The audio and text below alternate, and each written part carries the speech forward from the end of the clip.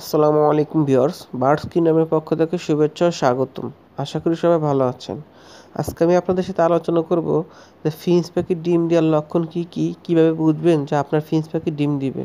তো ভিউয়ার্স, আপনারা যারা ফিন্স পাখি পালেন তাদের এই বিষয়টি জানার দরকার। তো অবশ্যই ভিডিওটি শেষ পর্যন্ত দেখবেন, তাহলে আপনারা জানতে পারবেন ফিন্স পাখি ডিম দেওয়ার লক্ষণ কি, কী। আর ভিউয়ার্স আপনারা যারা আমার চ্যানেল নতুন ভিডিও দেখছেন, তাদের কাছে একটা রিকোয়েস্ট আমার চ্যানেলটা সাবস্ক্রাইব করে রাখুন এবং পাশে থাকা বেল আইকনে প্রেস করুন। তাহলে আমাদের নতুন নতুন পাখির ভিডিওগুলি সবার আগে আপনার নোটিফিকেশনে পৌঁছে যাবে। ভিউয়ার্স ফিন্স পাখি সাধারণত পাঁচ থেকে ছয় মাস বয়সে ডিম বাচ্চা করে। তবে ছয় থেকে সাত মাস বয়সে ডিম বাচ্চা করানো খুবই ভালো পাখি স্বাস্থ্যের জন্য এবং সুন্দরভাবে ডিম বাচ্চা করতে পারে। আর ডিম বাচ্চা করানোর আগে অবশ্যই আপনাকে পাখিকে ব্রিডিং কোর্স করাতে হবে। এর মধ্যে আপনার যে ভিটামিন, মাল্টিভিটামিন কোর্স আছে, এগুলো করাতে হবে। এবং ফিন্স পাখির জন্য কিন্তু এক ফুটটা খুবই জরুরি, তাই নিয়মিত ফিন্স পাখিকে এক ফুট দিবেন সপ্তাহে দুই তিন দিন।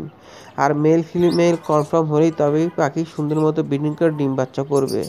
তো ফিন্স পাখি যখন ব্রিডিং করতে যায়, তার আগ মুহূর্তে কিন্তু অনেক চঞ্চল হয়ে ওঠে, বিশেষ করে মেল পাখিটা। মেল পাখি অনেক চঞ্চল হয়ে ওঠে এবং শীষ দেয় এবং ফিন্স পাখি ফিমেল পাখিকে মিটিং করার জন্য আহ্বান করে। তো যখন ফিমেল পাখি তার ডাকে সারা দেয়, তখন তারা মিটিং করে। মিটিং করার সাত থেকে আট দিন পরে সাকসেস মিটিং হওয়ার সাত থেকে আট দিন পরে ফিমেল পাখির ভেন্টে ডিম আসে, তখন ভেন্ট ভোলা থাকে।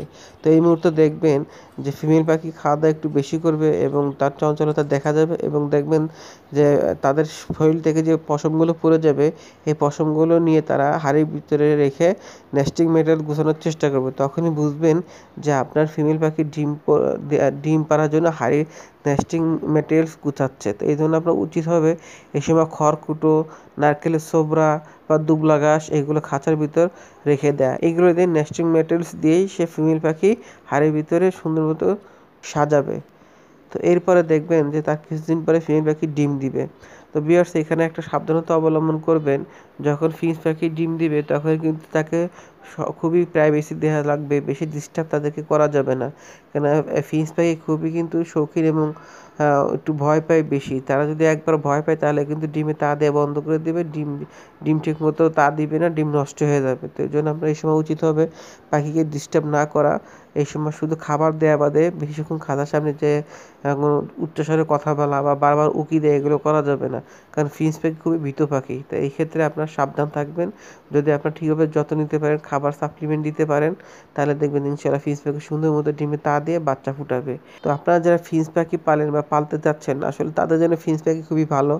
অল ছোটো জায়গা লাগে, খাঁচাও ছোটো লাগে এবং তেমন চিল্লাপাল্লা করে না বাজিকার পাখির মতো এবং খাবারও কম লাগে, সবচেয়ে খরচও কম। মোট কথা খাঁচায় পালন করা যত পাখি আছে, সবগুলো পাখির মধ্যে ফিন্স পাখি কিন্তু খাবার কম লাগে, খরচও কম হয়, জায়গাও কম লাগে, দেখতেও সুন্দর লাগে। এই জন্য অনেকে যারা ফিন্স পাখি পালতে চান, যারা ঝামেলা চান না, বেশি চিল্লাপাল্লা শব্দ বা অন্যের ডিস্টার্ব হতে পারে, তারা ফিন্স পাখি পালতে পারেন। ফিন্স পাখি খুব ভালো একটা নিরিবিলি পাখি, এটা আপনার জন্য ভালো হবে যদি আপনারা পালতে পারেন।